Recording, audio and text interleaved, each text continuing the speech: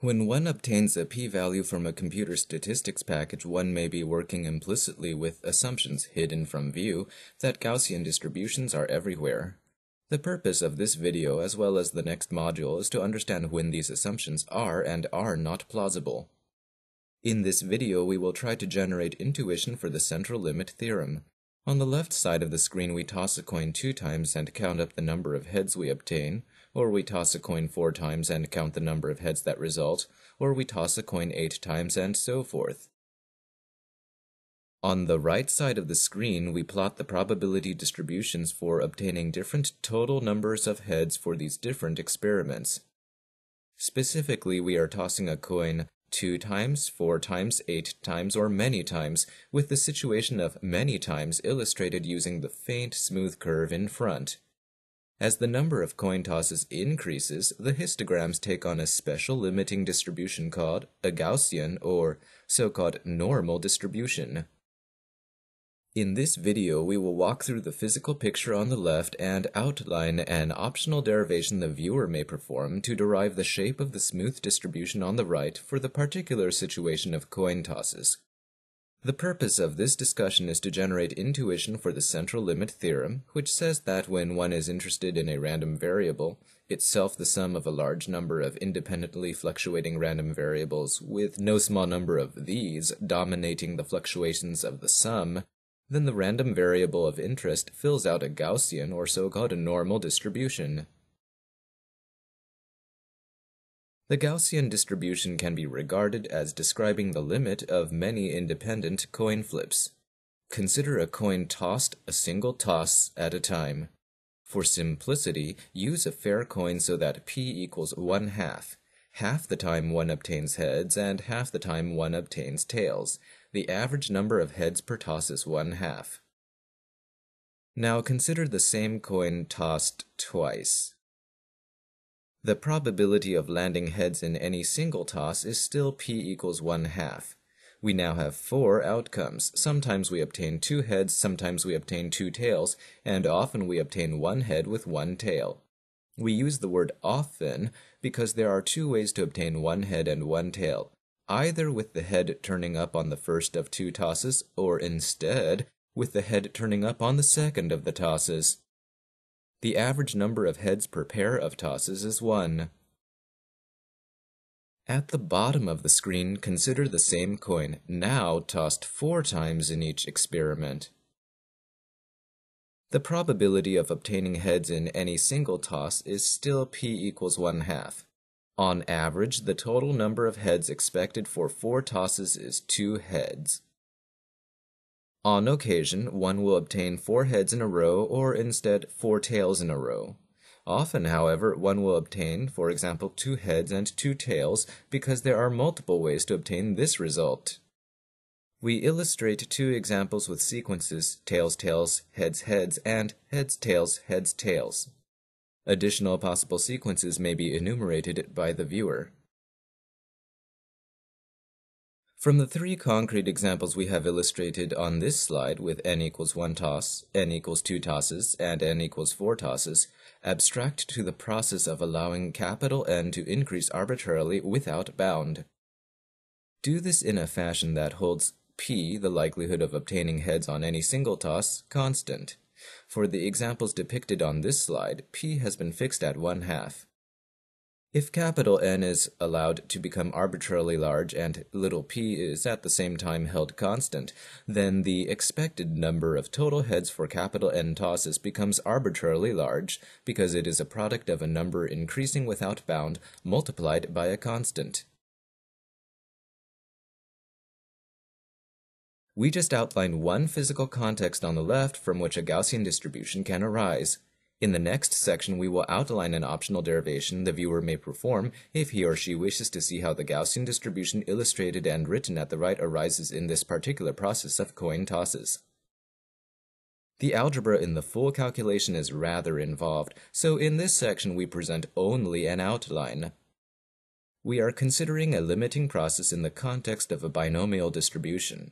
Recall that the probability for obtaining x total heads from capital N tosses is expressed in terms of a combinatoric factor, a factor of p to the x, and another factor of n minus x powers of 1 minus p. The purpose of this calculation is to substitute the conditions on the right into the equation on the left. We want to apply the condition that capital N is allowed to increase without bound, that the expected number of total heads obtained from capital N total tosses also increases without bound, particularly in a fashion with little p held constant, and in this example the probability of obtaining heads on any individual toss is one half. To organize the calculation, we label the combinatoric factor f and the remaining factors g. Use a change of variables that defines the deviation delta x as the difference between a particular value of x and its expectation value. Use the coordinate change to express f in terms of delta x rather than in terms of x. Take the definition of delta x and dump it into the expression for f. The result should be a quotient with n factorial upstairs and n over 2 minus delta x factorial times n over 2 plus delta x factorial downstairs. Apply Stirling's approximation to these factorials. This means we are considering ranges of values of capital N and x in which each of these factorials is large. The viewer may discuss the constraint on the values of delta x that these considerations imply. On the right, we re-express g in terms of the probability little p, taking the value of p equals 1 half on the right and placing it into g on the left should result in the quantity g equals 1 over 2 to the n.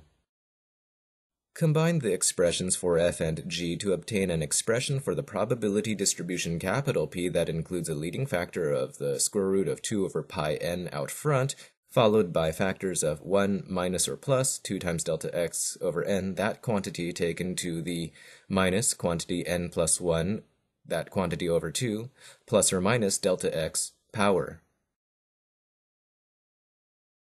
Define q as 2 times delta x over capital N.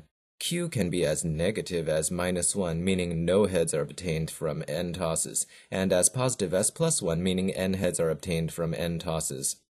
Place the definition for Q inside the probability distribution capital P to obtain an expression with a lot of square roots and Q's. Use yellow highlighting to label a first factor and orange highlighting to label the remaining portion to the right. To what degree do these factors vary as the variable q changes? when q equals 0, meaning when delta x equals 0 so that x equals its expectation value capital N over 2, the yellow and orange factors both equal unity. When q moves off the average value of 0, the yellow and orange factors can change. Consider the example where q equals 0.5. The yellow factor has increased to 1.15. The contents inside the square root of the orange factor may at first appear to be similar in order of magnitude to unity. Notice, however, that these contents are taken to a power of capital N which we allow to be arbitrarily large. When taken to large powers, numbers near unity can turn into numbers much larger or much smaller than unity, and in this example the orange factor turns into 2 times 10 to the minus 6 when n equals 100. This is orders of magnitude smaller than unity. The same variation in Q that causes a 15% variation in the yellow factor causes orders of magnitude of variation in the orange factor. Thus, as a rough approximation, we regard the orange factor as the source of all the variation in the probability distribution capital P and replace the yellow factor with a constant factor of 1. To prepare for graphical analysis on the next slide, we take the natural logarithm of both sides of this equation.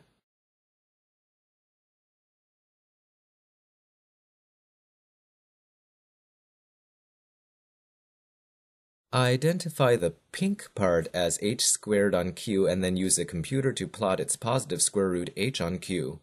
The resulting curve is very simple.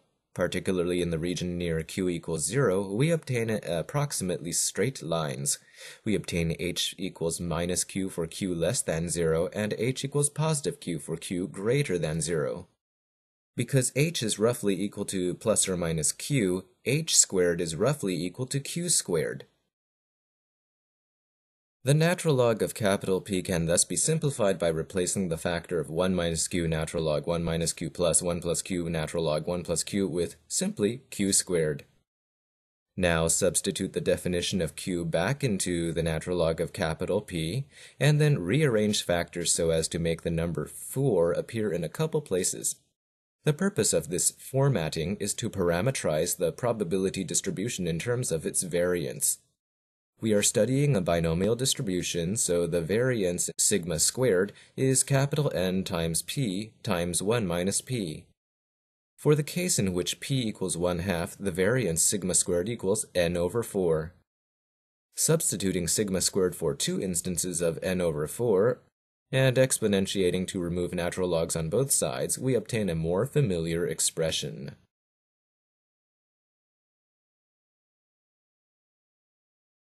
This probability distribution is sometimes written with the sigma in the denominator pulled out forward from the square root and with delta x written out explicitly as a deviation from the average value mu.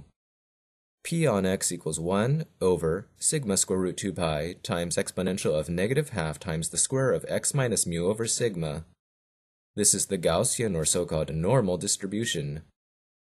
The presence of a square power inside the exponential along with the negative sign causes the distribution to decay very rapidly as one moves away from the average value.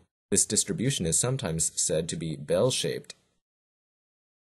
The region extending from a standard deviation below the average to the average, and the region extending from average to a standard deviation above the average each contain 34% of the total area under the curve.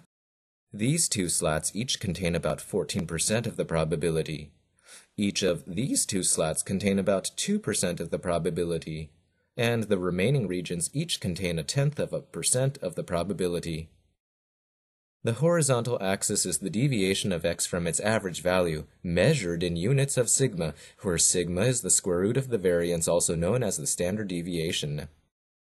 Roughly two-thirds of the area under the curve is found between minus 1 and 1. It is found, so to speak, within the first standard deviation.